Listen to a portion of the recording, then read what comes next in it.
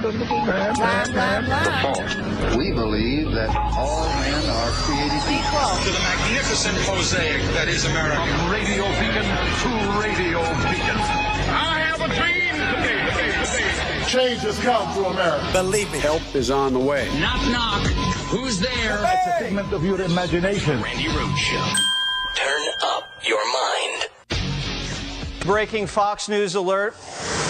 The FBI has raided former President Trump's home in Mar-a-Lago. Feds were executing a search warrant. President Trump issued a statement on the raid saying this. These are dark times for our nation as my beautiful home, Mar-a-Lago in Palm Beach, Florida, is currently under siege, raided. Well, I hope they didn't do any damage to those fake uh, uh, time, uh, you know, covers. those faked, you know, Time magazine uh, covers of Donald Trump being like man of the year. Oh my God. Oh my God. Okay, first, first, let me just say this. It wasn't a raid, it's a search. It was the execution of a search warrant. A duly received search warrant based on evidence presented to a federal magistrate, a federal judge, that could show either through witness testimony, affidavits, uh, previously given testimony, that a crime had been committed by Donald Trump and that the evidence was at Mar a Lago. And it may also have been the result of a belief that was able to be told to a judge and a judge be convinced of this that the crime was ongoing. I have no idea what the crime is. I have no idea what was in the safe. I don't know. This is this is this is just so bizarre. I I find myself agreeing with Mike Pence today. Oh God, help me! Help me! Help! Help! I find it funny that uh, he said there specifically the FBI, uh, Mar-a-Lago was under siege. The FBI is that just tourists. It's no siege. Just well, Donald just Trump. Tourists. He's not used to having visitors at Mar-a-Lago that don't kiss his ass, and he's definitely not interested in visitors who are there to burn his ass, which is what they're there to do find evidence of criminal behavior, which apparently exists because a judge. This is a very high bar. You're talking about, believe it or not, an ex president of the United States. Yes, it's Donald Trump we're talking about, but he is an ex president of the United States. Like it, don't like it, doesn't matter. That's who he is. That's what he is. And to convince a federal judge to allow for a, a search to occur at Mar a Lago, first of all, let me just say this. We learned last week that the Trump attorneys were cooperating or at least talking to, let's just say it that way, the January 6th committee. They were negotiating some damn thing. We don't know what, but the Trump attorneys, the criminal attorneys for Donald Trump, were in contact with and engaged with the January 6th Select Committee. Uh, that is investigating uh, the insurrection, that is investigating a, a you know seditious conspiracy uh, to overturn the results of a free and fair election, right? To stop a congressional proceeding. Now we've we've gone over the fact that that particular crime has a 20-year jail sentence tied to it. Okay, so the attorneys were talking to the January 6th committee. Uh, we know that when Donald Trump left the White House, he did take things. He took stuff. He took things. They're his things. And, you know, we know that later on, the National Archives had contacted Donald Trump and said, You took stuff, you took stuff and things, you took things out of the White House that are. Uh, that belong to the National Archives, that belong to the American people. Okay, you took all kinds of things, and uh, when you know when can we expect that you will you know, because you took them mistakenly, we're sure. We're, we're 100% sure. I mean, you were, after all, uh, the president of the United States. You certainly know that the Presidential Records Act, uh, you know, uh, means something to you as a president. And so Trump said, well, let me go through whatever he said, and did return. He did return 15 boxes of crap that he took. And when the National Archives was going through those materials, they actually discovered that he had taken classified information.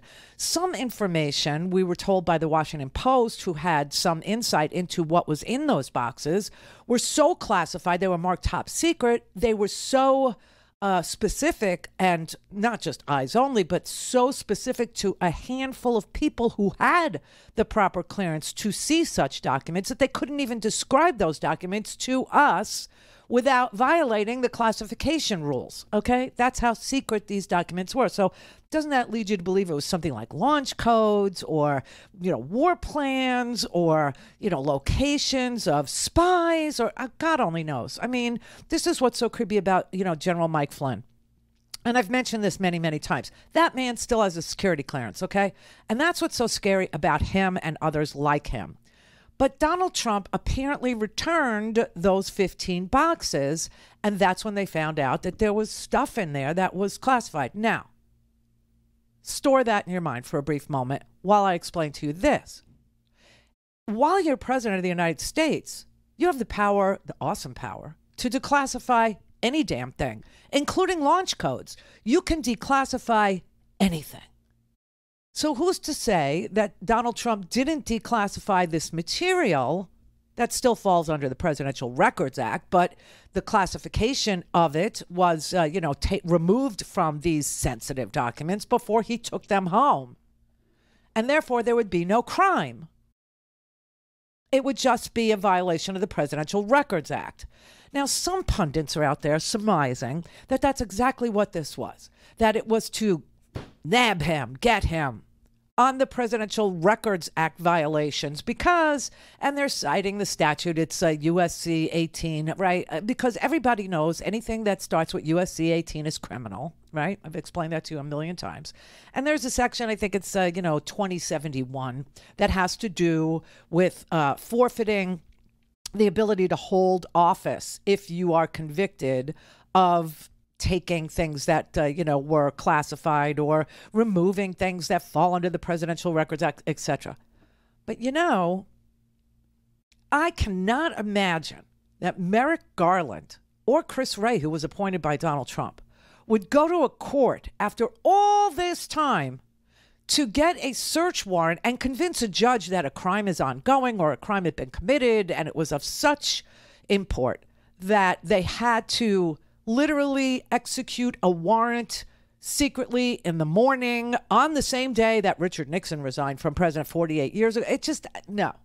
I just, for me, for, but for me, that just doesn't seem like something Merrick Garland would act on. It just doesn't seem like they would go to a court to get a warrant to search an ex president's house and be able to convince a judge, a federal magistrate, to grant that warrant to go get those things. I just, I don't know. It doesn't, does it hold water? No, it doesn't hold water. Do you know what I'm saying?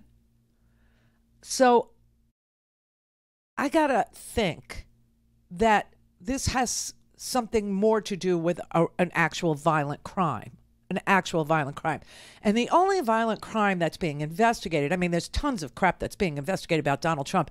Why, just today, uh, we found out that an appeals court, an appeals court, DC Circuit Court of Appeals, which is where, you know, all the Supreme Court justices are plucked from, that is like the most, uh, you know, uh, appealsy of the appeals courts. You know, it's just uh, the most I won't say senior because they're all co equal, but it is just the place where we go looking for Supreme Court justices, the uh, D.C. Circuit Court of Appeals. They just ruled today that when Richard Neal, who is the chairman of the Ways and Means Committee, all those years ago, I guess it was 2017 or 18, you know, asked for Donald Trump's tax returns, the appeals court said he was within bounds. He was within his rights as being one of the only members of Congress who could do that, who could ask for Donald Trump's tax returns. And the appeals court just gave the green light for the Ways and Means Committee, the Taxation Committee, to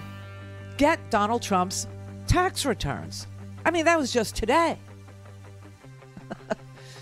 And I'm sure that when those tax returns are uh, actually pored through, you will find tax fraud there. But I don't think that this warrant had anything to do with any of those things.